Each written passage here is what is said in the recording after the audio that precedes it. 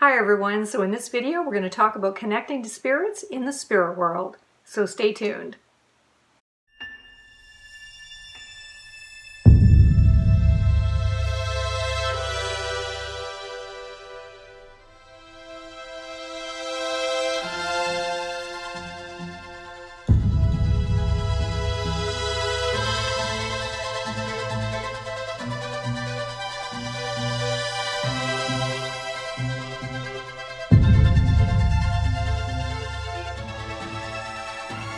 Hi everyone, it's Wray with Tarot Living. Thanks for joining. This is a channel about all things spiritual. So if you haven't subscribed already, you'll want to do so. So hit the uh, subscribe button and the bell notification in order to be notified that I've posted a video.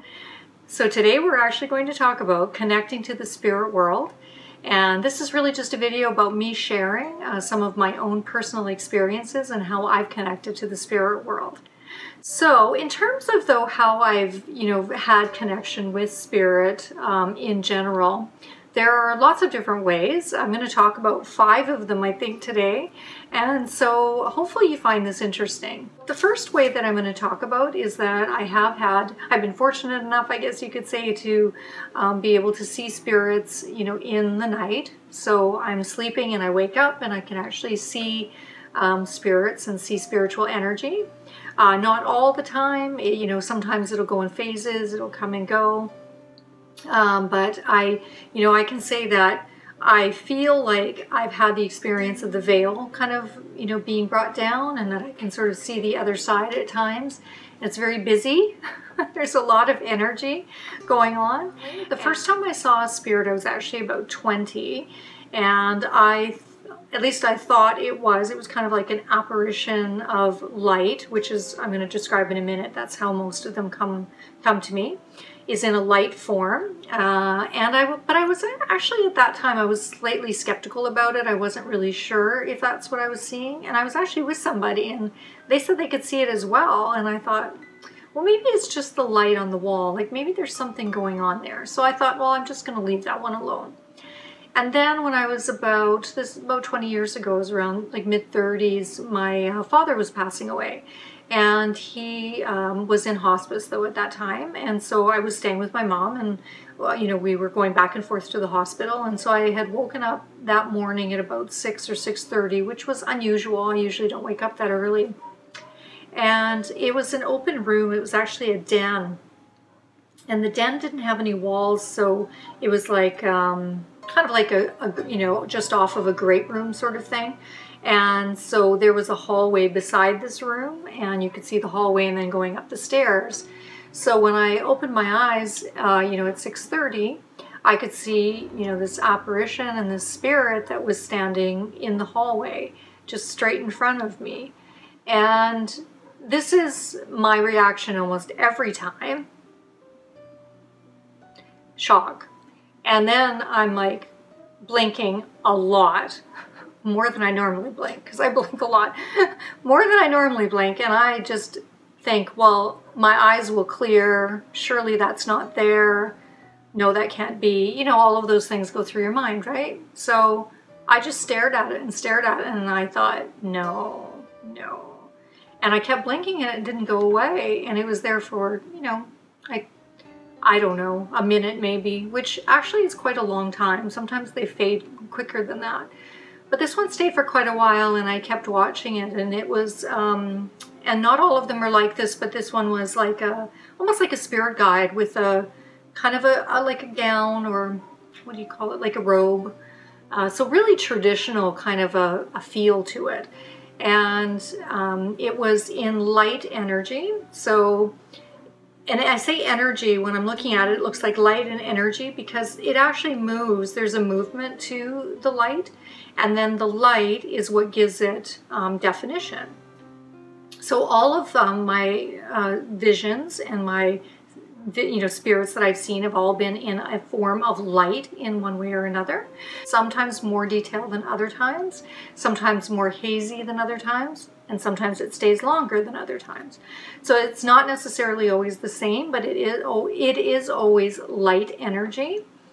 And this uh, particular spirit, in any event, was um, kind of kind of praying. I really felt like it was a guide of my dad's or an angel who was maybe watching over my dad. And so we went to the hospital and he had passed away, I think maybe a day or two after that, after that vision. And so I really just felt like, you know, that was the other side coming to tell me, you know, he's going to be okay. We're going to help him cross over kind of thing. So, so that was the first time that I had a significant, you know, vision in my opinion. And then about 15 years ago or so, maybe even 17 years ago, I started seeing um, spirits in my room when I would wake up in the middle of the night on a regular basis. So this would happen like frequently. And then it's kind of faded off and then it came back and then it faded off again. And so I'm in a phase where I'm not seeing as much right at the moment, but it just comes and goes and I feel like I can't really control it to any particular degree. You know, um, they, they show up when they show up and I'm able to see them when I'm able to see them. So as I say, it's very busy on the other side and there's a lot of different kinds of spirits that I've seen. And I'm going to do another video, which if you see a card above and you're going to see a link to that video if it's ready and if I've been able to complete it and post it. Um, so that is the first way that I have connected with spirit. So the second way I want to talk to you about is seeing spirits, but this is actually seeing spirits through your third eye. And this way is very interesting. It's actually completely different than seeing um, through your physical vision. This is what I would describe as being almost similar to when you're dreaming. So when you're dreaming, you have your eyes closed. But in your dream, you can see things, you can envision, you can see color, you can see detail sometimes, great detail. And then sometimes you can only see things briefly and then they fade off that is a third eye sort of um, vision for me. That's very similar to how it is. So when I see something with my third eye, there's two different times or ways that I would have that happen. So the first one is when I'm in meditation and I go into meditation for not only myself at times, uh, but for clients. So uh, before any client comes to me, I would always do, you know, grounding, protection, and, and opening my chakras and connecting to spirit. Um, and then after that, I would move on to, um, you know, embracing and talking to my own guides. And then I would ask for their guides to come forward. My guides are always on the right, and I ask their guides to come in on the left.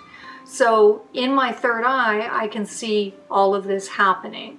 So you have to go into, you know, you have to be in a meditative mode, or I have to be doing a reading where I've raised my vibration level in order to have psychic information coming to me. So those are the two ways it can happen.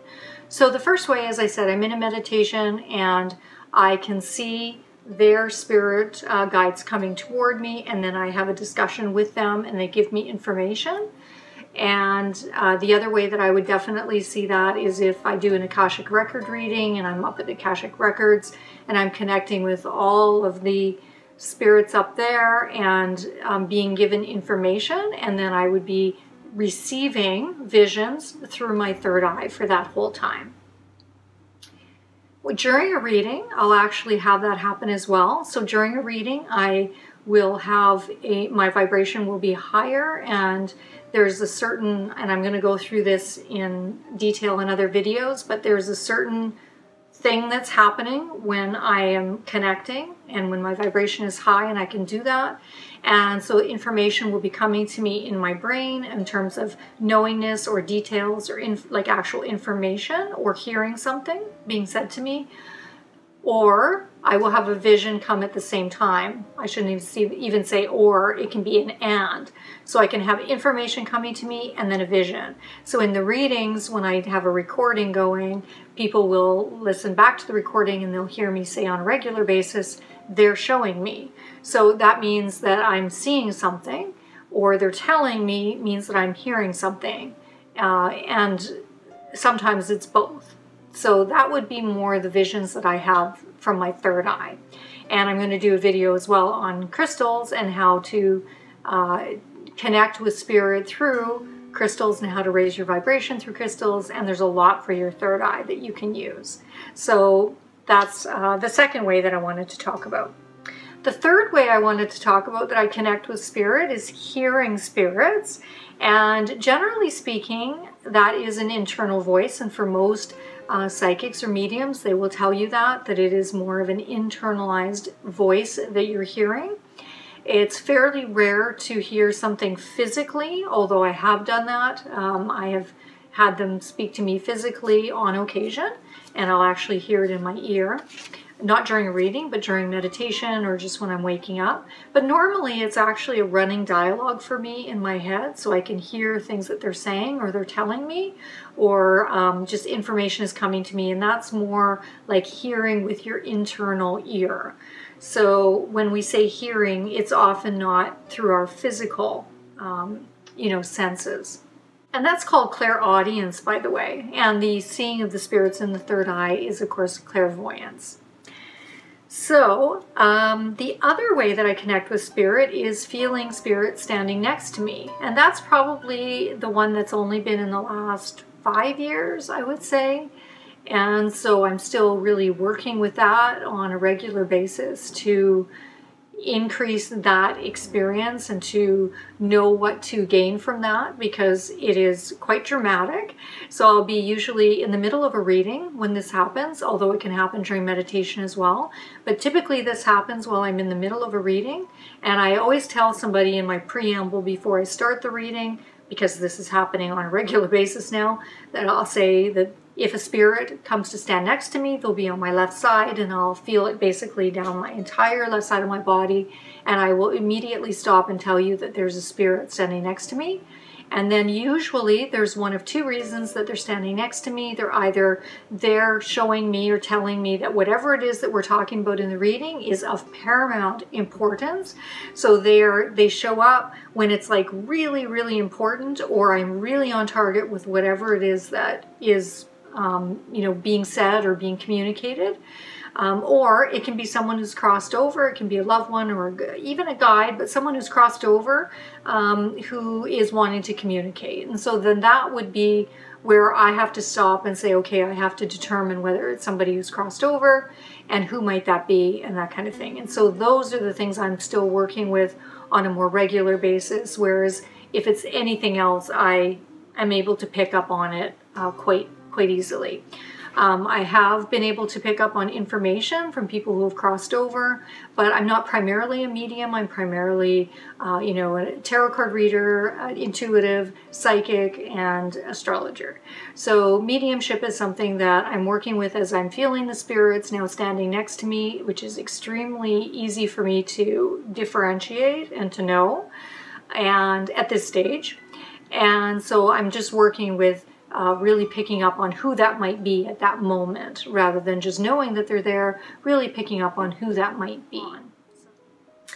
And then also the fifth way is just re reading energy in general.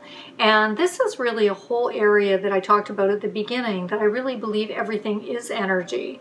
So for me, picking up on um, energetic uh, information on the other side or energetic information from uh, someone who's sitting in front of me is really all the same thing. It really feels like I'm connecting with spirit when I'm doing that. So that's why I put it in here as an example.